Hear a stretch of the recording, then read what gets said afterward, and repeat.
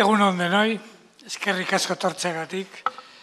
Eh, muchas gracias a Baquetic por su invitación y por ponerme en tan buena compañía en, la mesa. No siempre se está a gusto con todo el mundo, desgraciadamente, ¿no?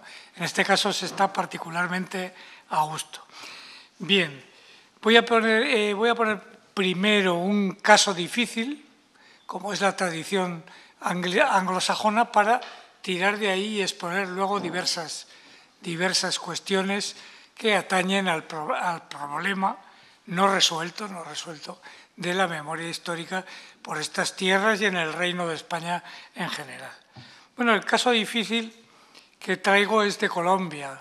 Yo he estado dando clase en Colombia hasta el 1 de septiembre y a partir de septiembre vine aquí y me encontré con el referéndum de la paz y con el triste resultado eh, de ganar el no a la paz, que es algo fortísimo e inesperado eh, casi completamente. Bien, he pensado, he pensado que el lema de los que han ganado el no debe hacernos reflexionar a todo el mundo. Dice, paz sin impunidad. Bueno, si fuera así de abstracto y convincente, pues no habría nada que objetar. Pero claro, los que dicen paz sin impunidad son los que han dado impunidad a los paramilitares en toda la etapa anterior, que son, eh, han dado cobertura a miles y miles de asesinados y para los cuales, para los del no, no cuenta el asunto del paramilitarismo, ¿eh? que es gravísimo en, en Colombia y me atrevo a decir que uno de los principales problemas de Colombia. Este año solo, en el 2016, llevan ya 70 asesinados, casi todos ellos defensores de los derechos humanos en zonas difíciles. Asesinados de manera, yo creo que programática. Pero las, las huestes del no ven eso de diferentes maneras. Uno se habla con algunos y, no quieren verlo, como pasa también en España en, en algunas situaciones. No quieren, ver, no quieren saber nada de eso, solo quieren saber de la impunidad de las FARC. Otros, más descarados, se agrupan bajo el viejo lema de, de horrible lema, el fin justifica los medios, porque han muerto los de la FARC, se, la, se lo han buscado ellos y se emplean los métodos que haga falta. Y eso te lo, te lo pueden defender a la cara. ¿no?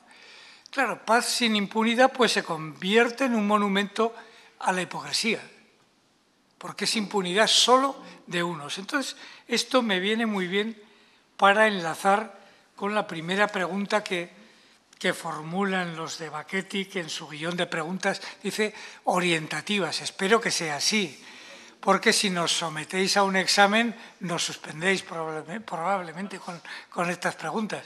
Eh, ¿Por qué es necesaria la memoria para una sociedad? Primera parte de la pregunta. En Colombia, con este ejemplo, este caso difícil que he puesto, es absolutamente necesaria una memoria, si no común, porque es muy difícil, al menos homogénea. Una memoria que diga que los crímenes son crímenes, todos, los crímenes y una memoria que diga que las víctimas son víctimas, todas las víctimas. Es necesario, ¿por qué no compadecerse de las víctimas de los paramilitares, de los miles de falsos positivos, se les llama en Colombia? Falsos positivos son asesinados por el ejército, personas inocentes, personas que se ha demostrado ante los tribunales que son inocentes y que no tienen nada que ver con los guerrilleros y las Fuerzas Armadas los han contabilizado como guerrilleros. De ahí el nombre de falsos positivos. ¿Cómo no compadecerse? Por cierto, este asunto lo levantaron las madres de los falsos positivos, como ha pasado tantas veces con la memoria y con el, con el olvido. ¿no? Bueno, entonces yo creo que ahí ese ejemplo me es suficiente para decir, para propugnar una memoria homogénea, necesaria, para que se resuelva el asunto de Colombia y para que no quede como ha quedado. seis millones y pico en el lado del no y otros seis millones y pico en el lado del sí. Es decir, una sociedad fracturada por no tener ese recuerdo común. Es importantísimo el recuerdo. Bien, el punto 3 también del guion orientativo nos dice qué objetivos deben perseguir las políticas de memoria, un reconocimiento de la verdad como lista de hechos veraces. Sí, bueno, eh, hay que reconstruir la verdad, porque ¿cómo se convence a los partidarios del no de las víctimas, de, los, de lo que han sufrido las víctimas de los paramilitares? Con la reconstrucción de la verdad. Primero, porque si no, no podemos ponernos de acuerdo entre el sí y el no. Bien, y ahora paso a continuación a, varias cuestiones. Una, es muy importante en todo esto la legitimidad constitucional de cualquier, de todos los regímenes que vayan a utilizar la memoria. Eh, yo escucho mucho aquí en Euskal Herria, en Navarra, mi tierra también, eh, no, suele, no suele gustar hablar de eh, la legitimidad constitucional, la argumentación constitucional, mejor suelen ir a ese terreno que a mí no me convence mucho, que es el del relato. El relato me suena a literario, a retórico, ¿no? Y legitimidad constitucional, ¿por qué pasa? Que aquí en estas tierras, bueno, la mía también, eh, lleva la Constitución el adjetivo de española detrás. Entonces ya hay ahí un rechazo, un rechazo con el cual yo no estoy de acuerdo en absoluto. Porque España, el nombre de España que puede echar para atrás a algunas personas, hay que preguntar si es la España de Franco o la de García Lorca, ¿verdad? Porque España, así como algo que hay que excluir y rechazar, pues no, hombre, a, García Lorca no hay que rechazarlo, sino que hay que invocarlo. Hay que invocarlo, estudiarlo, amarlo también bueno, entonces España puede querer decir muchas cosas. En todo caso, no se debe establecer nunca un parangón entre un régimen democrático y un régimen fascista o una dictadura. Digo esto, por ejemplo, para expresar mi desacuerdo con, los, con mis amigos, que son amigos de Podemos, cuando dicen, eh, le llaman democracia y no lo es. ¿Cómo que no es esto una democracia? Aquí estamos hablando, aquí hablamos libremente, nos comunicamos libremente y esto es una democracia con muchísimos defectos, que esa es otra cuestión, que hay que criticar y que en general los de Podemos lo hacen bastante bien, incluso se pasan en ocasiones, ¿no? Pero, pero, pero se puede criticar la democracia porque es una democracia. Digo esto porque también en, en las filas de ETA y aledaños, hemos oído muchas veces, yo lo he escuchado muchas veces, esto, esto es igual que el franquismo. Esto es igual que el franquismo. Qué poca memoria. El franquismo, el franquismo era otra cosa, por más que los poderes públicos hagan a veces eh, un esfuerzo por darle la razón a ETA. ¿eh? Es decir, por ejemplo, las ocho sentencias del Tribunal de Derechos Humanos de Estrasburgo que condenan al Reino de España por el asunto de las torturas, pues eso fortalece esa idea de ser esto igual que el franquismo, que no lo es, que no lo es, pero hay que poner remedios para no darle ninguna razón eh, a ETA en este asunto. ¿no?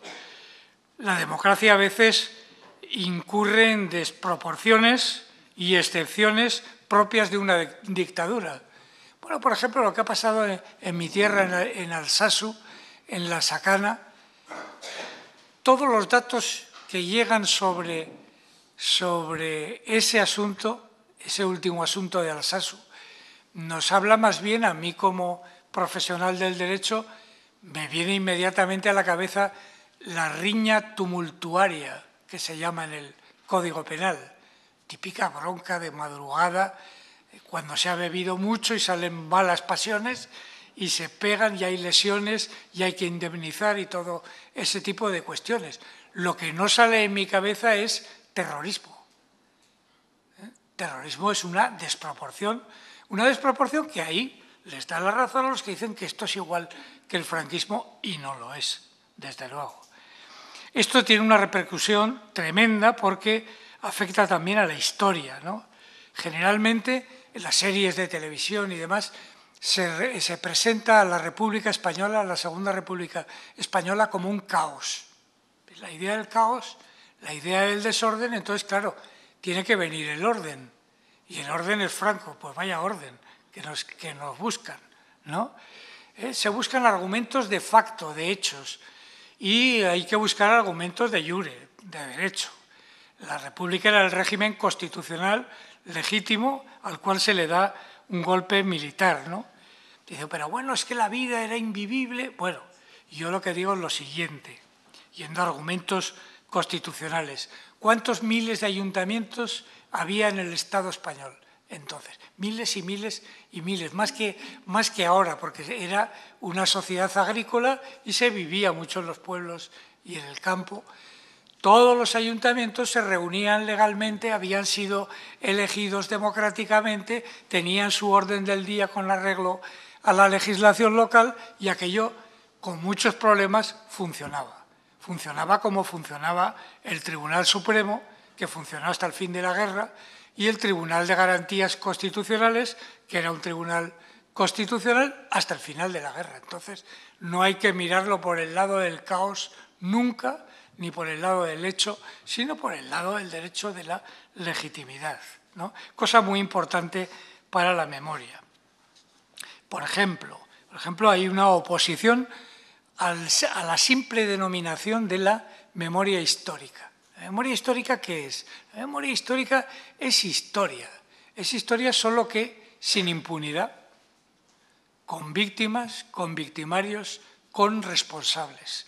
Irresponsabilidad, ese es el matiz, pero es una manera legítima y necesaria de, de hacer historia.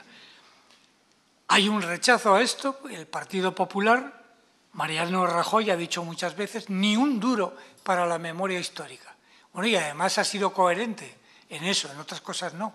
En eso ha sido coherente y no ha dado un duro para la memoria histórica. Y ha salido la memoria histórica de todos los presupuestos de, las, de casi todos, de las comunidades autónomas, desde luego donde están ellos en el poder, ¿no? lo cual no es ninguna buena noticia. ¿no?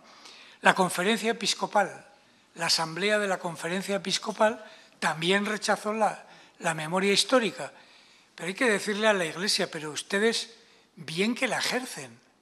Todos los años se elevan a los altares a, uno, a, varios de los ocho mil y pico asesinados en zona republicana. No por la República, sino en zona republicana. Y hacen muy bien ustedes en recordar eso. Están ustedes en su derecho, pero miren hacia el otro lado también.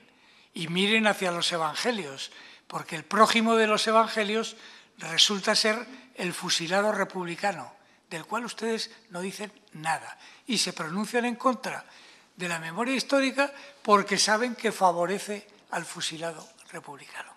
¿eh? esa hostilidad a la memoria histórica hay que criticarla, así lo, así lo hago. Y ahora voy con otra cuestión.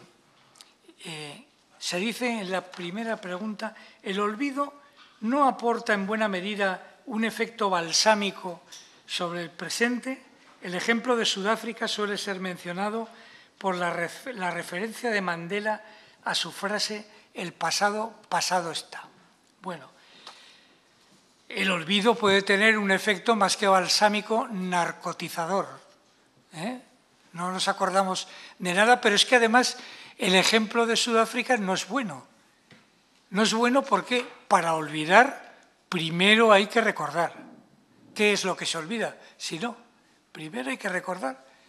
Y, en Sudáfrica se recordó. En Sudáfrica se creó una comisión de la verdad. Bueno, es bien sabido que estas cosas de la memoria histórica se resuelven o bien por la justicia, pagando cada cual lo que ha hecho ante los tribunales, como en Nuremberg, o bien mediante una comisión de la verdad, que es lo que se hizo en, Sudáfrica. Es decir, reconstruyendo lo que había pasado admitiendo las confesiones de los responsables a cambio de no ir a la cárcel ni sufrir ningún castigo. Bueno, tengo aquí un testimonio interesantísimo de una miembro de la Comisión de la Verdad de Sudáfrica, Verónica Barolski, se apellida, que se dedica a contarnos también todos los inconvenientes que tuvo. Según ella, ahondó mucho la desigualdad que ya era terrible en Sudáfrica. Es decir, que no se tocase el patrimonio de los verdugos y responsables del apartheid y, de todos aquellos crímenes de, de Sudáfrica, creó una situación de privilegio para los amnistiados por ese procedimiento. Ella dice que mejor es eso que nada. Yo también pienso que mejor, muchísimo mejor es eso que nada. Pero voy a leer lo que dice ella. En realidad, el pasado continúa teniendo un enorme impacto en el presente. Lo configura en buena medida. Eso es inevitable y perdura por lo menos durante una generación. Así que el posconflicto se vuelve una especie de mitología, algo en lo que la gente necesita creer, pero la gente no ve de manera realista cuáles son los retos y cómo han sido configurados por este pasado. Si uno cree que el pasado se acabó y comienza un nuevo capítulo, está pero que muy equivocado. ¿eh? Bueno, y eso lo dice una persona que pertenece a la Comisión de la Verdad en, Sudáfrica. Bueno, luego están, aparte de estas cuestiones de la argumentación constitucional, el olvido, el olvido será después de recordar, ¿eh? que quede eso, eso claro. ¿no? Después, si víctima y victimario eh, se quieren perdonar, que es un acto grandioso, pues estupendo, pero habrá que recordar lo que, lo que ha pasado, ¿no? Yo tengo en mi retina y en mi, en mi cerebro esos, esos momentos de silencio entre Pili Lassa y Alonso en, las, en la campaña electoral. Bueno, que, que se olvida el qué. Si el partido, el partido Popular dice que no son víctimas o vamos, o hace la vista gorda con las víctimas del GAL, pues ahí está el resultado, que no se puede hacer la vista gorda, porque moralmente se queda francamente mal. ¿eh? Los crímenes son crímenes, los cometa quien los cometa. Y las víctimas son víctimas. ¿eh? Entonces, ese es un punto de partida más que un punto de llegada. Vamos a ver alguna cuestión pues que yo he, he discutido mucho en Navarra, pues uno trata con casi todo el mundo y hemos, nos hemos planteado algunos viejos militantes antifranquistas, eh, pero nosotros sentíamos la muerte de Carrero Blanco o sentíamos la muerte de, de Melitón Manzanas. Pues no, yo, que yo recuerde con toda honradez, no sentí para nada la muerte de Melitón Manzanas ni la de Carrero Blanco. ¿eh? Ni siquiera en mi cabeza se perfiló aquello como un crimen.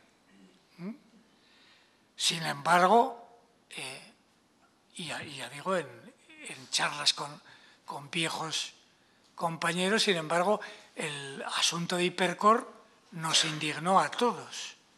Ya hay un cambio ahí en, la, en nuestra conciencia también los personajes, Melito Manzanas y, Carrero Blanco, eran espantosos. ¿eh? Y eran asesinos y torturadores y jefes de, torturadores. Bueno, yo creo que cambia, cambia la conciencia. Y, la pregunta eh, que no tiene respuesta, dice, ¿deberíamos haber sentido la muerte de Carrero Blanco? pues me resulta, me sigue me, resulta muy duro es admitir esas son todas las muertes. Bueno, cuidado, era, era Carrero Blanco. Yo recuerdo, yo estaba entonces, pertenecía entonces al movimiento comunista, eh, que empezaba a dar sus primeros pasos, y recuerdo lo que dijimos de la muerte de Carrero. Dijimos de la muerte de Carrero, dice, bueno, los de ETA no saben qué represión puede venir después. Luego nos parece esto irresponsable no saben cómo va a reaccionar el poder, ni lo han pensado, nos parece irresponsable. Y otra, otra crítica más se decía, no, esto distrae fuerzas de la participación de la gente en fábricas, universidades y demás, y no es ese el camino, ese camino nos lleva a la práctica del activismo, se le llamaba al terrorismo, se llamaba activismo individual, nos lleva al activismo individual y eso no conduce a ninguna parte. Bueno, pues era una, una crítica que yo. Bien. Todo esto eh, viene eh, al caso de cómo, cómo considerar las cosas hoy. Hoy estamos en un régimen constitucional y democrático con todos los defectos que les pone Podemos, que les pone Podemos y que yo suscribo también. Pero es un régimen democrático. Entonces, por ejemplo, con la Guardia Civil, ¿qué actitud ética hemos de tener? ¿Qué perspectiva eh, con la Guardia Civil? La Guardia Civil, eh, nuestra perspectiva tiene que ser la siguiente. Son agentes policiales de un régimen democrático y hay que mirarlos como agentes policiales de un Estado, de un Estado social y democrático de derecho. A algunos esto les cuesta muchísimo y a veces les cuesta mucho porque eh, quizá fuera en Alsasu más normalizador de las relaciones humanas que se hiciera cargo la policía foral de todo lo que es el orden público. Eso a lo mejor ganaba la vida, eh, la vida ciudadana con ese asunto, por todas las anteriores implicaciones de la Guardia Civil en hechos negativos y, luctuosos. Quizá, quizá, digo, sea mejor. Es mejor, esto lo he defendido por escrito, es mejor que se desmilitarice la Guardia Civil y en esto coincido con los sindicatos de la Guardia Civil. ¿eh? Los, los números de la Guardia Civil no quieren ser militares, quieren tener el trato, el trato democrático de los policías y de los sindicatos de policías. Entonces, quizá eso también eh, le quite imagen para algún, algunos sectores como en Alsasu que los ven como un ejército de invasión. Y así lo, así lo dicen. Bueno, pues habría que quitarle hierro a esa cuestión, pero lo que son, son agentes policiales de un régimen democrático. Bueno, se ha discutido mucho, voy a ir ya eh, con otras cuestiones. Se ha discutido mucho en el Reino de España entre eh, memoria e historia. Bueno, eh, historiadores como Santos Juliá, como Álvarez Junco, por diferentes razones y, por similares razones también, se han opuesto a la memoria histórica. Álvarez Junco, que yo, es un grandísimo historiador, sin embargo dice que es repetitivo lo de la memoria, que memoria e historia es la misma cuestión. Bueno, yo creo que la memoria es parte de la historia, sí, es una manera de hacer historia, pero no es lo mismo y no está resuelto en el panorama cultural y constitucional español. Entonces, había traído aquí algunos ejemplos de cómo la, la confusión la confusión que se crea incluso desde el ámbito constitucional español. Si tomamos la Constitución española, española de 1978 y empezamos por el preámbulo, en el preámbulo no se dice nada del régimen de Franco. O sea que venimos, como en algunas obras inglesas, venimos de ninguna parte. ¿Eh? No venimos del, régimen de Franco. Bueno, hay que rechazar el régimen de Franco lo primero, que es de donde se viene. La segunda, la segunda cuestión, ¿no ha habido en España nunca, en el Estado español, democracia? Porque si esta Constitución es democrática, que lo es, tiene que reivindicar los antecedentes democráticos. No, no todos, pero sí, por lo menos, la otra Constitución democrática que hay y normativa, lo cual nos importa mucho a los juristas, una constitución que se aplicaba, la de 1931, con su Tribunal de Garantías, que era el Tribunal Constitucional. ¿eh? Entonces, no hay que aludir a la Segunda República y a la, y a la Constitución de 1931 y a la Primera República y al sexenio revolucionario de 1869, pues no se dice, no se dice en la Constitución absolutamente nada de todo esto. No voy a reproducir toda la discusión que tuvieron, muy interesante, y que refleja dónde estamos ahora, que hubo en el proceso constituyente entre Tierno Galván y Fraga Iribarne. Bueno, Fraga Iribarne amenazó con romper la baraja si se hablaba del pasado. Y Tierno Galván, muy conciliador, decía que, que se hable por lo menos de los sufrimientos del pueblo español. Ni sufrimientos ni nada. La Constitución arranca de ninguna parte, ¿eh? ni del pasado democrático ni del pasado franquista. ¿Y qué le ocurre a la Constitución española? Pues que cuando tiene que hablar de la Constitución de la Segunda República, porque tiene que hablar de la Constitución de la Segunda República, le da toda la legitimidad, de manera implícita y vergonzante. ¿eh? Por ejemplo, para quien tenga curiosidad, la disposición transitoria segunda. Los navarros conocemos muy bien la disposición transitoria cuarta, la famosa, ¿no? Pero no, no, hay que leer la transitoria segunda. La transitoria segunda dice, los territorios que en el pasado hubieran plebiscitado oficial, eh, afirmativamente perdón, los estatutos de autonomía, estatutos de autonomía en el pasado, ¿qué pasado es ese? Ese pasado es el republicano y es al amparo, al socaire de la Constitución legítima de 1931. Lo que pasa es que no se tiene el valor de decirlo y se dice, pero de manera implícita y vergonzante, pero se reconoce la legitimidad de la, de la República.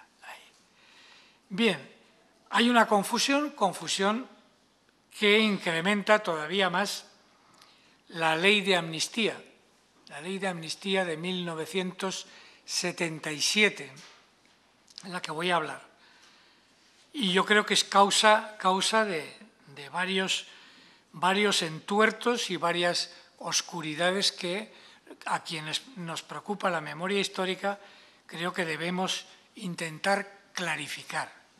Bien, el actual fiscal general del Estado, el señor Maza, promovió un voto particular suyo en el Tribunal Supremo con el asunto de Garzón y los crímenes del, franquismo, por el cual resultó absuelto Garzón de, la acusación de, del reproche de prevaricación, pues este magistrado eh, creía que había que aplicarle la prevaricación a, a Garzón. Se le aplicó por otro asunto. Es curioso, yo estoy mucho en Latinoamérica y en Latinoamérica todo el mundo se cree todo el mundo. Se cree que Garzón fue echado, expulsado de la carrera judicial por los crímenes del franquismo. Bueno, y fue, ¿no? fue, fue separado de la carrera judicial por el asunto de la Gügel, en alemán, eh, del, asunto de eh, pinchar los teléfonos de los abogados defensores de Correa, eh, que es otra, otra cuestión completamente diferente. Bueno, pues Maza Maza dice en su voto interesantísimo, voto particular, se explaya en lo que es la prevaricación, a mi juicio, con muy bien, muy bien, que no es solo eh, objetiva, sino subjetiva también. Eh, para un juez es especial apartarse de la ley, no es como para cualquier persona. Bueno, todo eso está muy bien, pero el punto de partida de Maza está fatal. Está fatal porque todo su reproche se construye desde la ley de amnistía de 1977. Ese es el punto de partida de todo el razonamiento. Bueno, si admitimos eh, la legalidad, la constitucionalidad de esta ley, yo no la admito. ¿eh? Yo no la admito, yo creo que es una ley directamente, directamente anticonstitucional. No voy a decir que es inconstitucional porque yo no soy, no pertenezco al Tribunal Constitucional, que más quisiera yo, ¿eh? y les cambio el sueldo de paso. ¿eh? Bien, eh, no pertenezco al Tribunal Constitucional y no puedo decir que es inconstitucional, pero sí que es anticonstitucional. ¿Por qué? Esa ley da varios indultos generales y una amnistía general. La Constitución vigente prohíbe los indultos generales en el artículo 62 y latina para quien le interese indagar por ahí. La disposición derogatoria tercera deroga todas las disposiciones, leyes, sentencias, etcétera, que se oponen a la Constitución. Luego, si está prohibido el indulto general, la ley da un indulto general y hay una disposición derogatoria, pues adiós. Eso no es, eso no es constitucional. Bueno, esto los puse una, otra vez aquí en, Donosti, en una reunión que hicimos de, juristas, y Garbiñe Biurrun, a quien todas y todos conocéis seguro, eh, Garbiñe Biurrun me, me criticó, me dijo, sí, ¿y qué hacemos entonces con la amnistía que se dio por motivos sindicales, eh, a los que habían echado de las fábricas por participar en huelgas y los tuvieron que readmitir a través de la, de la ley de 1977. Dije yo, pues es muy fácil. Derechos adquiridos porque el derecho de huelga, por el que los habían echado de las fábricas, es hoy un derecho fundamental. Y aquí le dije, mira, y además me viene muy bien para señalar los defectos de esta ley, porque se equiparan las torturas de la brigada político-social con la gente expulsada de las fábricas por ejercer un derecho fundamental. ¿eh? O sea que es lo mismo un crimen de lesa humanidad, la tortura, que ejercer un derecho fundamental de huelga. Eso es la trampa, la gran trampa de esa ley, es que equipara, equipara los derechos fundamentales, asociación, expresión, huelga, etcétera, los derechos fundamentales, con crímenes de lesa humanidad, con las ciento, ah, pasmémonos, ya yo me pasmo con esto, 114.000, 114.000 desapariciones forzadas que el Estado español todavía no ha esclarecido. Y no pensemos solo en la guerra, sino en lo que viene después. Y nos ha llamado la atención la ONU, y nos ha dado esa cifra la ONU. Es decir, que después de los dos millones de desaparecidos de Camboya, España es, el Reino de España es el Estado que más desapariciones forzadas tiene. Entonces, claro, todo eso, todo eso hay que esclarecerlo. Me detengo un poquito en esta ley. Esta ley dice, habla, fijaros qué fórmula, exculpa, da el indulto general para los delitos cometidos por los funcionarios y agentes del orden público contra el ejercicio de los derechos de las personas. Es decir, es un reconocimiento explícito de la tortura que era una regla y no una excepción en la España de Franco. Y e indulta todas las torturas y abusos ¿eh? de la autoridad que se hicieron entonces. dice, la emplea la fórmula siguiente. Los delitos y faltas que pudieran haber cometido las autoridades, funcionarios y agentes del orden público. Fijaros en, la redacción, que pudieran haber cometido. ¿eh? Es decir, no los que han cometido, sino por todos los que pudieran haber cometido, por todos los reproches que, pudo haber. ¿eh? Esto es como las bendiciones del Papa Urbi et Orbi, ¿eh? para todos, absolutamente, bueno, un ejercicio de cinismo moral bastante fuerte.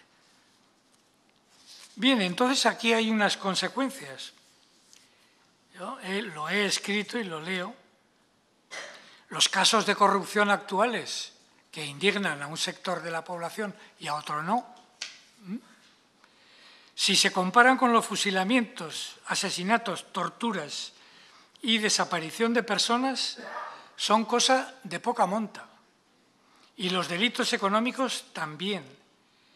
En estos instantes todo esto está en positiva fase de cambio, pero hasta ahora una porción importante del electorado ha demostrado que pensaba así, de reiterado modo, con sus masivos votos a partidos y sus dirigentes implicados en la corrupción. Es decir, que frente a todo lo que se ha exculpado, cualquier delito es nada. ¿Mm? Esto es algo gravísimo. Yo no quiero decir, cuidado, que me han reprochado en alguna ocasión, sí, pero esa no es la causa. Yo no digo que haya una relación de causa a efecto. A efecto. Lo que digo es que hay unos vasos comunicantes, un caldo de cultivo, unas condiciones dadas, como se le quiera llamar, para decir que todo lo que viene después de toda esa exculpación es poco. Y la clase política ha actuado así, ¿eh? acogiéndose en buena medida a ese modo de pensar.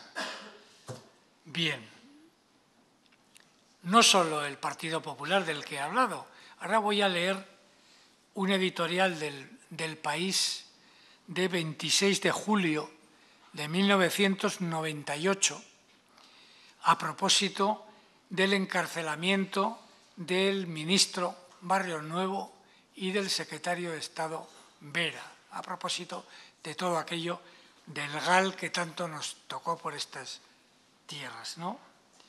Dice este editorial, a muchos militantes y dirigentes del PSOE les resulta muy doloroso aceptar que los suyos paguen por lo que no pagaron los que sirvieron a la dictadura o los que realizaron actividades parecidas en gobiernos anteriores.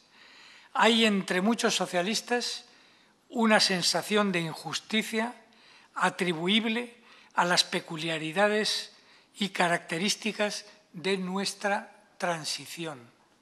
Fijémonos en que les resulta muy doloroso aceptar que los suyos paguen por lo que no pagaron los que sirvieron a la dictadura. Yo no sé quién hizo, quién escribió este editorial, pudo ser un Donostierra, Javier Pradera pudo serlo. Él redactaba habitualmente los, los editoriales comprometidos del país. Pero lo que transmite moralmente este asunto para mí es deleznable deleznable. Los crímenes pagan sus autores, ¿eh? sean socialistas, sean franquistas o sea quien sea. Pero ¿qué ocurre al ligar a la situación anterior? Dice, toda la situación anterior, todos los fusilamientos en masa, desapariciones forzadas, torturas, todo eso, todo eso no se pagó nada. Y ahora venimos nosotros y tenemos que pagar, ¿no? Vaya razonamiento, ¿eh? Pues se paga por los crímenes, sí y por los, por los delitos. Y a mí, aunque se quedó muy incompleto lo del GAL, por muchas razones, como dijo Felipe González hace poco, dijo, a pesar, a pesar de lo que hicimos, dijo. Y pa, pa, pa, dijo, que yo estaba viendo la televisión y pegué un salto. Digo, pero este hombre eh, está, reconoce ese asunto. qué espanto moral también. Bueno, no voy a hablar más de Felipe González porque me han asegurado que trae mala suerte. Entonces no, voy a... Bueno. Bien, entonces todo esto, todo esto, sí, voy, y voy, voy y termino con, con todo esto, todo esto crea un clima entre la clase política, un clima moral implícito o a veces explícito, como este editorial. Este es un editorial de la clase política. Dice, si no pasa nada ahí, ¿por qué, nos, por qué les va a pasar a, los del Partido Socialista un clima moral deleznable con el cual hay que acabar en el Estado español, en Euskal Herria y en, y en todas partes? Y enjuiciar la corrupción desde esta, de esta absolución de los delitos. Es decir, no, no, eso no se puede volver a repetir y lo menos que podemos hacer es reconstruir la verdad, que se sepa lo de los 114.000 eh, desaparecidos forzados, que se sepa, se conozca, se investigue. Se investigue, pero eh, tal como está la legislación española, si llega un caso de una persona que está, cuyo cadáver se sabe que está en un determinado sitio, pues el familiar correspondiente tendrá que rezar o invocar lo que sea para que el juez le haga caso y que le toque un juez que le haga caso también, porque le puede tocar, como ha sido muchas veces, jueces que, que no hacen ni caso de esa cuestión porque es muy comprometida. ¿no? ¿Eh? Yo creo que los poderes públicos españoles violan, si tenéis la paciencia de leerlo, violan constantemente con la memoria histórica el artículo 9.2 de la Constitución. 9.2 que, eh, cuyo contenido se debe a un, a un gran amigo mío que, al cual he hecho, y, colega de profesión, al cual he hecho de menos, que es Gregorio Peces Barba, que es el que ideó ese artículo y es el que obliga a los poderes públicos a remover los obstáculos para que se desarrolle la libertad y la igualdad. ¿eh? Entonces, le llega a un juez la noticia de un cadáver y no quiere verlo, usted, usted no se atiene a la Constitución. Usted debe remover los obstáculos y ponerse de parte del familiar inmediatamente. ¿no? Por eso hay, por todas estas cosas ligadas entre sí, hay esa confusión enorme moral. Yo no pienso, no pienso yo solo así, sino que leo, y con esto acabo de verdad, ¿eh? una cita del pensamiento de un gran amigo también, de Bartolomé Clavero, historiador del derecho, que dice, me he referido intencionadamente a la España postfranquista pese a los años transcurridos desde el fenecimiento de la dictadura. La recurrencia de la corrupción puede que tenga bastante que ver con la forma como se transitó entre el régimen franquista y sistema constitucional. El franquismo fundó un nuevo Estado sobre cimientos de crímenes contra la humanidad y múltiples formas de pillaje. Bueno, nada más, es que ricasco. ¿eh?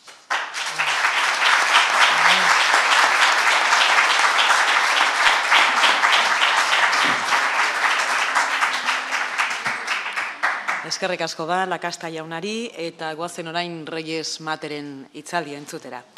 Manuel Reyes Mater Rupérez, eh, Pedrajas, eh, eh, nacido en Pedrajas de San Esteban, en Valladolid, es filósofo y se dedica a la investigación de la dimensión política de la razón, de la historia y de la religión, y en concreto de la memoria los vencidos y el papel de la filosofía después del Holocausto y Auschwitz.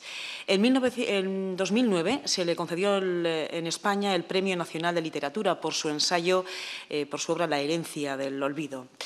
E, bestalde, Ipar Renaniako Münstereko Williams Unibertsitateko eta Madrilko Unibertsitate Autonomoko doktore da baita ere, Zesikeko ikerlari da baita ere, e, Filosofia Institutuan, Fue director del Gabinete Técnico del Ministerio de Educación y Ciencia desde el 82 hasta el 86 y desde ahí inspiró e impulsó la creación del Instituto de Filosofía del CSIC, de cuyo patronato fue presidente desde el 87 hasta 1990, fecha en la que es nombrado director del instituto hasta el 98. La Enciclopedia Iberoamericana de Filosofia edizio proiektuaren zuzendari da bestalde, Akademi Plataforma honek nolabait ere antolatu ditu Iberoamerikar Filosofia Kongresuak eta Pensar en Español izeneko programa. Bestalde, la filosofia después del holocausto proiekturako ikerlari nagusia da, e, proiektu honek labur esan da lanean eh, diardula esan dezakegu, jarraian mila bederatzireun da larogeita amarretik. Y para ir concluyendo también añadiremos que buena parte de su obra se ha centrado en la filosofía después del, holocausto como símbolo e hito que obliga a la presencia política de la memoria de los vencidos, campo en el que ha sido pionero en el mundo hispanoparlante ha creado finalmente un nutrido equipo internacional de investigadores especializados en estudiar la significación política, moral, estética y epistémica de la barbarie. Reyes Mate, adelante.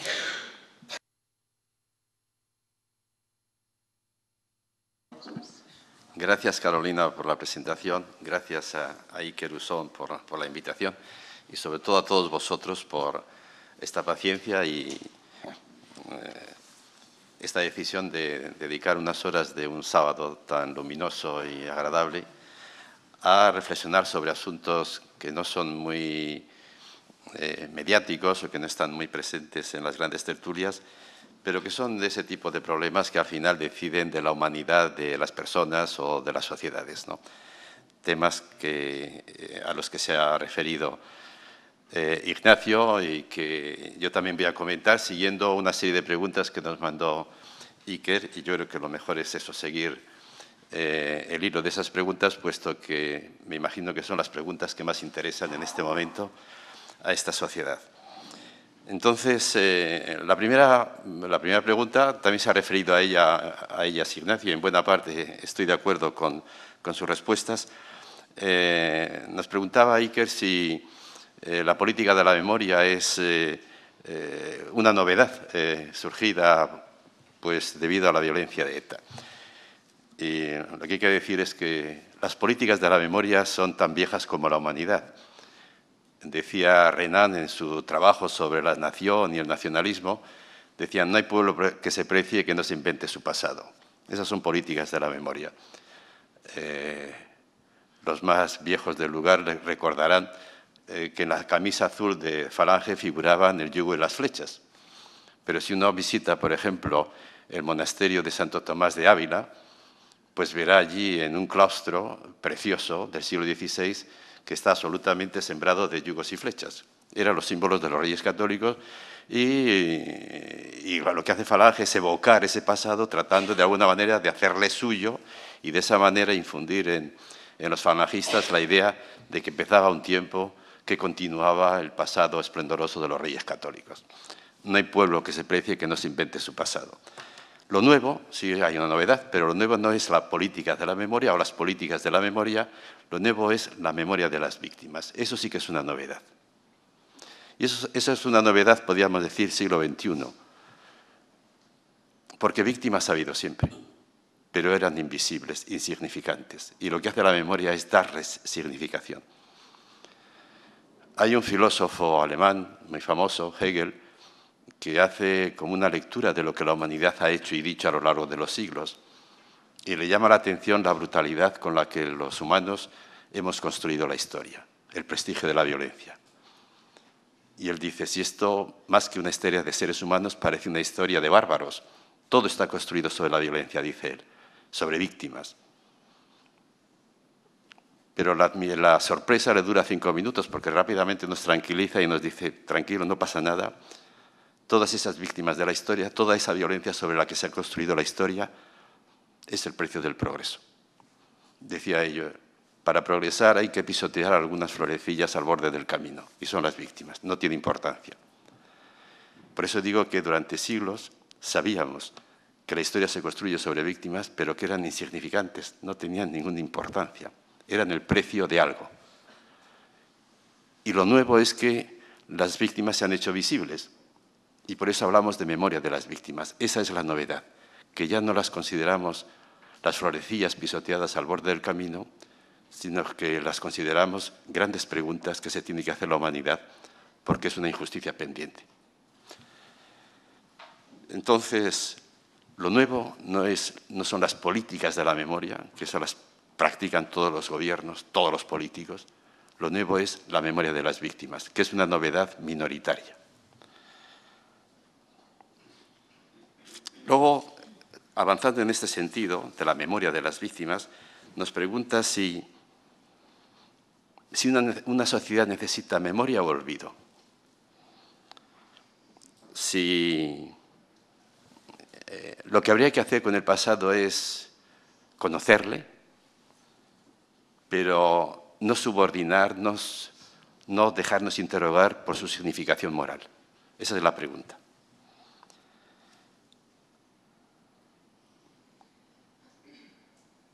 La pregunta es, pues, si no convendría olvidar en nombre de una conveniencia superior como es la convivencia. aquí se plantea el espinoso tema de la relación entre la paz o la convivencia y la justicia.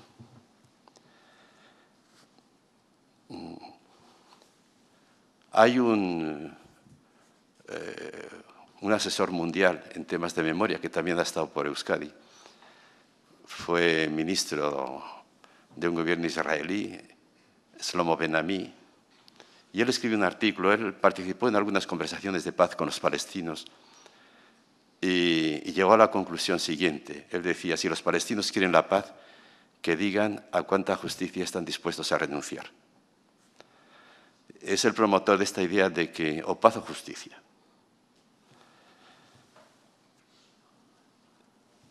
Porque son dos cosas diferentes, a primera vista. Eh, viniendo aquí, comentaba con Iker, hablábamos de, cómo está repercutiendo en el mundo la experiencia de, la violencia en las generaciones siguientes, cómo los hijos están viviendo la violencia de la sociedad de los padres. Y esto en América Latina es objeto de una profunda reflexión. Y recuerdo el comentario que me hizo un hijo eh, hablando de este tema y que tiene que ver con esta relación entre justicia y paz y me decía, son más importantes los hijos que tenemos que los padres que tuvimos. Son más importantes los hijos que tenemos que los padres que tuvimos. Es decir, respecto a los hijos tenemos la obligación de dejarles un mundo en paz. Y por eso la importancia de la paz o de la convivencia. Pero no a cualquier precio. También hay que hacer, también hay que tener en cuenta lo que hicieron los padres o los abuelos o lo que les hicieron, es decir, la justicia. Entonces las dos cosas son necesarias. Pero segura, si hay que poner una prioridad, hay que apostar primero por la paz, por la convivencia, por una razón, porque el abandono de las armas puede ser un hecho puntual, se puede hacer en un momento. Mientras que la justicia, hacer justicia, eso que llamamos hacer justicia, tiene un tiempo largo. Y no podemos esperar a que se consume la justicia para empezar la paz. Pero no se puede sacrificar la justicia a la paz. Porque fijaros bien, si bastara dejar de matar para que todo se olvide, ¿qué impediría a ese volver a las armas si sabe que basta dejar de matar para que todo se olvide. Si queremos construir una sociedad en paz de cara al futuro, tenemos que tomarnos muy en serio la injusticia pasada. Y por eso no se puede sacrificar la justicia a la paz. Pero hay que empezar por la paz. Hay que dar prioridad a la convivencia. Una tercera pregunta que nos hace es el alcance de la memoria. ¿Qué debemos hacer con el pasado? ¿Conocer los hechos o valorarlos moralmente? Y este es el debate entre la historia y la memoria. La historia se ha especializado en el conocimiento de los hechos. Y la memoria lo que hace es preguntarse por el sufrimiento latente a esos hechos. Son dos niveles distintos. Y en España hay un enorme debate y una enorme confusión sobre la relación entre historia y memoria. Se refería a ello también Ignacio en su intervención anterior.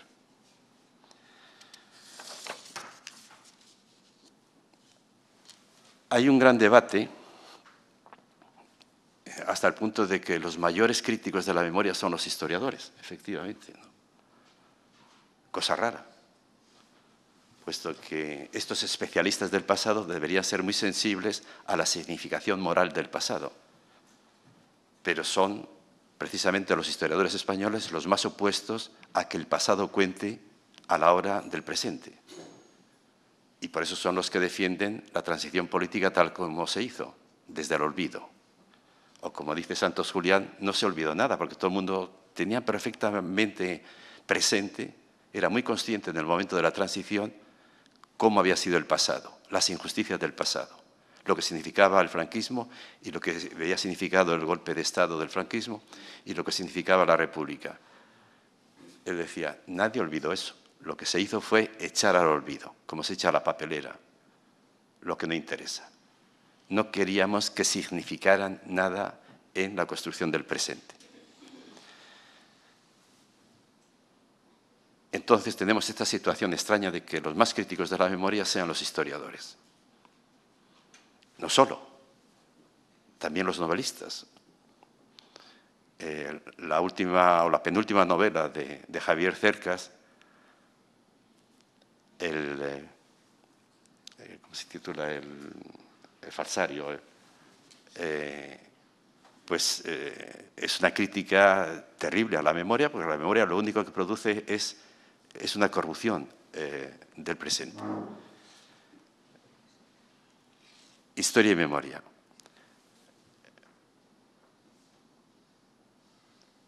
Han tenido desde, eh, desde el pasado, desde siempre, eh, son dos conceptos polémicos. Ha habido un momento en el que importaba mucho más la memoria que la historia a la hora de de revisar el pasado, de interpretar el pasado. Por ejemplo, los cristianos saben que en los evangelios, mucho más importante que el relato de los hechos era su significación. Los evangelios no cuentan hechos. Lo que cuentan es la significación que unos hechos tenían para esa comunidad. Importaba mucho más la memoria que la historia. Y Aristóteles decía que hay más verdad en la memoria que en la historia, porque la historia cuenta hechos y la memoria cuenta lo que pudo ser y no fue además de los hechos. Por eso es más rica la memoria que la historia.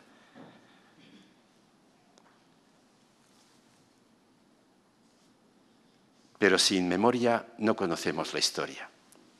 Y voy a poner un ejemplo.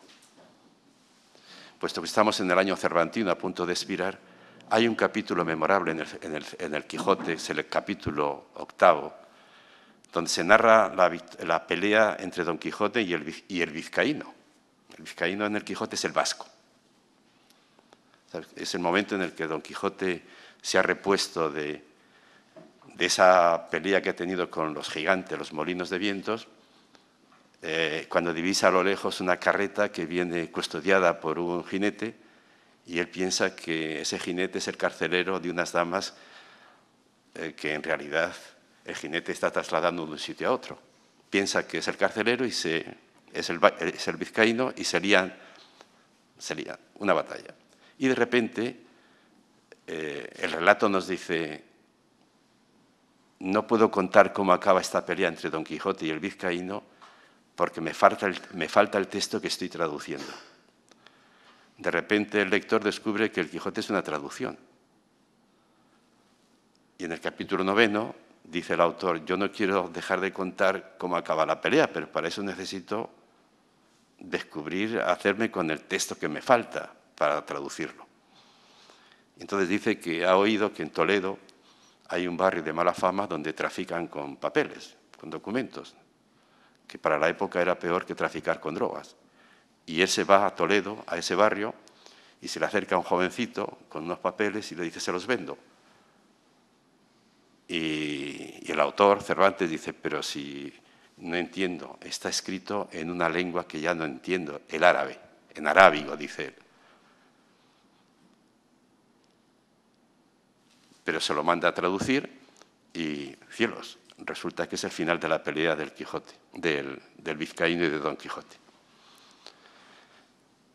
Es un gesto muy interesante este de Cervantes porque en ese momento cuando él está diciendo eso, cuando él está diciendo a los lectores de su libro que están encantados con él, cuando les está diciendo que es la traducción de una lengua, el árabe, les está traduciendo, les está diciendo que se están divirtiendo, que están celebrando en el fondo una lengua prohibida, maldita, porque en ese momento el árabe es una lengua proscrita.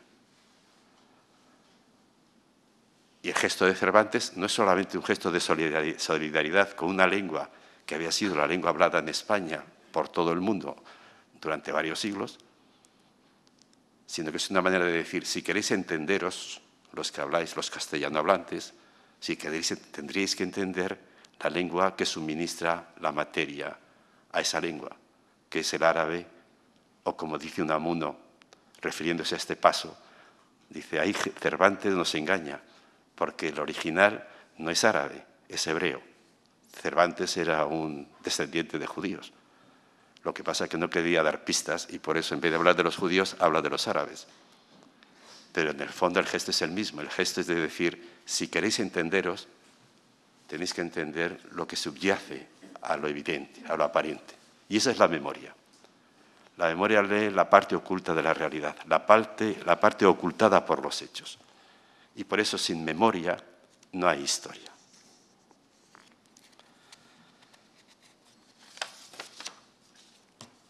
Y esa parte ocultada de la realidad es siempre una historia del sufrimiento. Es la historia de las víctimas. Y por eso la memoria es la memoria de las víctimas. Porque hay dos tipos de pasados. Hay un pasado que está presente en el presente y hay un pasado que está ausente del presente. Hay un pasado que está presente y es el pasado triunfador, ese está presente. Eso que llamamos patrimonio, por ejemplo, cultural, es el resultado de lo que en cada época ha triunfado y que pasa de una generación a otra. Pero hay un pasado ausente, es el pasado de los vencidos. Ese queda en las cunetas de la historia. Ese no pasa, ese está ausente del presente. Lo que hace la memoria es recogerlo y hacerlo presente. Por eso la memoria es siempre memoria de las víctimas, memorias del sufrimiento. Por eso una sociedad que, que renuncia a la memoria renuncia a sí misma, renuncia a conocerse. Los hechos es una parte de la realidad, pero no es toda la realidad. El término hecho es muy significativo. La palabra hecho, en alemán es mucho más claro, pero incluso en castellano, hecho es el pretérito perfecto del verbo hacer. Es decir, es lo que quiso ser y ha, llegado a realizarse. El pretérito perfecto es lo realizado. Es un proyecto realizado. Pero hay mucho que quiso ser y no ha llegado a ser. Y no tenemos ni siquiera formas gramaticales para expresarlo. En griego está el aorista. En griego sí tiene una palabra, pero las lenguas latinas no han conseguido tener una forma de verbo que exprese eso. Ese momento del proyecto fracasado. El proyecto, lo que no ha llegado a ser. Pero eso que no ha llegado a ser forma parte de la realidad. Forma parte de la realidad. Porque sin eso nos equivocaríamos con lo aparente, confundiríamos lo aparente con la realidad. Y la memoria es la especialista, digamos así, de rescatar esa parte oculta, ocultada, vencida, desaparecida, marginada y traérnosla al presente. Por eso, una sociedad sin memoria es una sociedad que niega a conocerse que, niega a conocerse los, que llega a conocer la dimensión real de los hechos, porque confunde los hechos con la realidad. Y pasamos a otra pregunta que se habla eh, también eh, muy importante, eh, es a propósito del relato. Entendemos por relato mm, la reconstrucción del pasado lo más exacta y completa posible. Entonces la pregunta que se hace es si es posible un relato oficial del pasado o hay que aceptar una pluralidad de relatos, algo que está muy en el aire, lo de la pluralidad de relatos.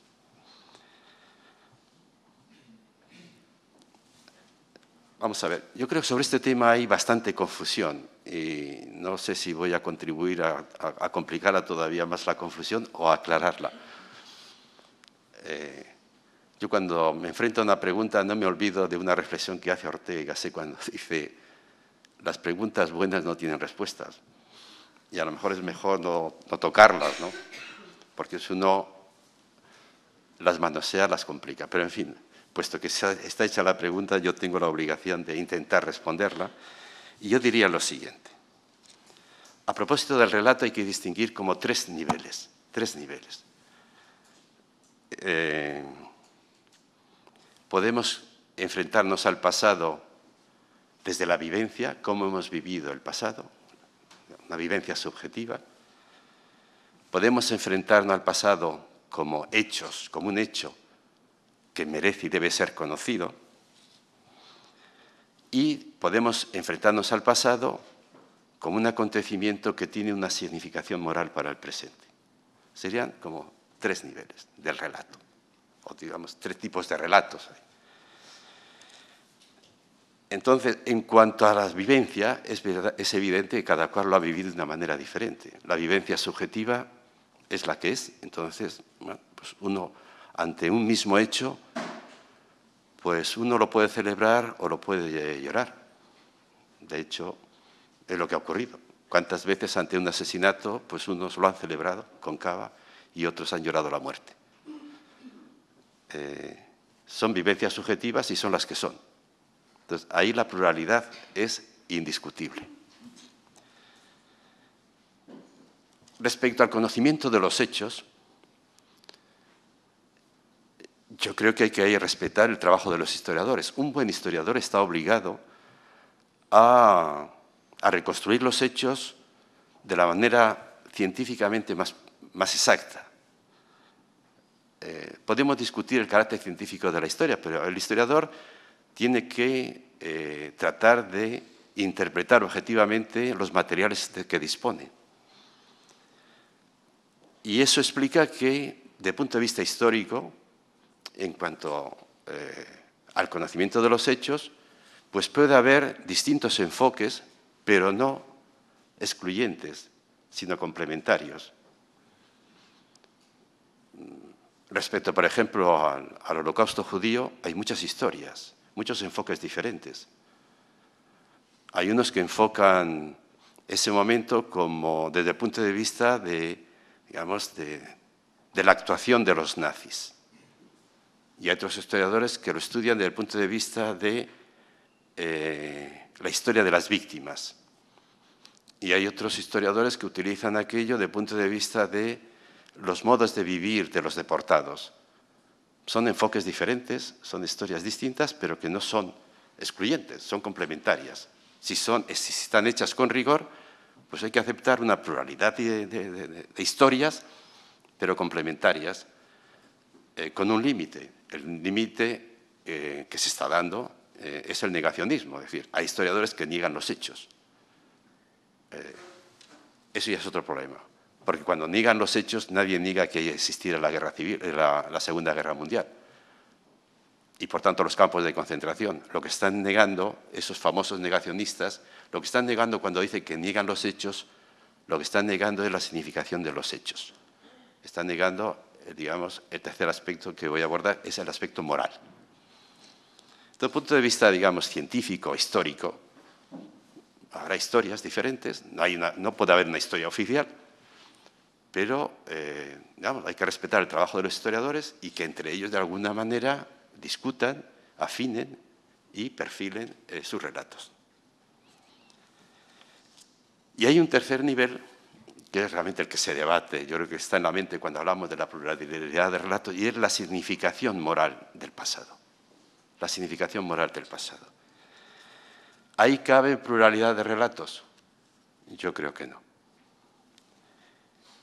No, hay, no, cabe hablar de una pluralidad moral del relato. ¿Por qué? Porque tiene que haber un criterio de verdad a la hora de enjuiciar la significación moral del pasado. Y ese es el lugar de las víctimas. y eso es innegociable. Quien diga, por ejemplo, quien enfoque el pasado desde el punto de vista moral diciendo, ah, aquello fue lamentable pero inevitable, ese está faltando el respeto a las víctimas. No está reconociendo la injusticia a las víctimas. Quien diga, todo el mundo sufrió, y por tanto, si todo el mundo sufrió, todo es excusable, todos fuimos culpables, es decir, nadie fue culpable, ese está faltando a la justicia a las víctimas. El centro de gravedad de un relato moral tiene que ser valorar el sufrimiento de las víctimas, Y cuando nos enfrentamos a las víctimas, a la, significación de las víctimas, tenemos que tener, en, tenemos tener en cuenta algo que eh, pone en evidencia de una manera clarísima las víctimas del holocausto judío, pero que vale para todas. Y es que el que mata no solamente quiere matar físicamente, sino que quiere rematar moralmente. El que mata no solamente quiere destruir una vida, sino que ese acto va acompañado de un discurso moral para quitarle significación al hecho mismo de matar. Los nazis no querían solo matar judíos, no, no. Lo que querían era llevar a la conciencia de la humanidad la idea de que estaban matando animales. Y por eso eh, hay toda una transformación del lenguaje. Los nazis utilizaban un lenguaje muy específico con los judíos que no era un lenguaje humano. Había palabras peligrosísimas, por ejemplo, tratar un cadáver de un judío con la palabra cadáver. Había que utilizar otras dos palabras, que eran leños o trapos. El deportado judío tenía un nombre y el nombre era el mismo que da Kafka en el relato de la metamorfosis a ese bicho en el que se transforma Gregor Samsa. Gregor Samsa se metamorfosea, se, transforma en un bicho, un Getziffer, una palabra alemana que significa un bicho, un insecto. Esa es la palabra que utilizaba el nazi a la hora de designar al judío. Lo que quería decir es que el nazi no solamente mataba a judíos, sino que quería expulsar al judío de la condición humana. Por eso en toda muerte política no solamente hay un gesto físico, sino también un gesto que podríamos llamar metafísico, yo le llamo hermenéutico. Tratar de quitar, de privar de significación el hecho mismo de la muerte. Y precisamente por eso, porque lo que conlleva el acto, el asesinato político, es la privación de sentido moral, de sentido humano de la víctima, es por, lo que el relato de la víctima, el relato, del, el relato moral del pasado tiene que pivotar sobre esta idea. La idea de que matar por una idea política no es defender una idea, es cometer un asesinato. Esto es una frase que cito literalmente de un debate que tiene un gran humanista, Castellio, con Calvino en Ginebra y que relata muy bien eh, Stefan Zweig en su libro sobre Castellio y Calvino, que recomiendo, donde Calvino quería salvar a la gente matándola, quería salvarles por las buenas o por las malas, y su maestro, Castellio, un gran humanista que también estaba amenazado de muerte, le explicaba a Calvino que tanto celo por defender una idea no era defender una idea, era cometer un asesinato. Ese es el punto sobre el que debe construirse el relato moral del pasado. Que matar por una idea nunca es defender una idea, es cometer un crimen.